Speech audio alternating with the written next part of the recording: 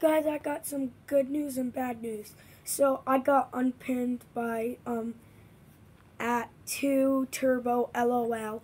But good news is I made a new one, probably bigger than the other one that got pinned.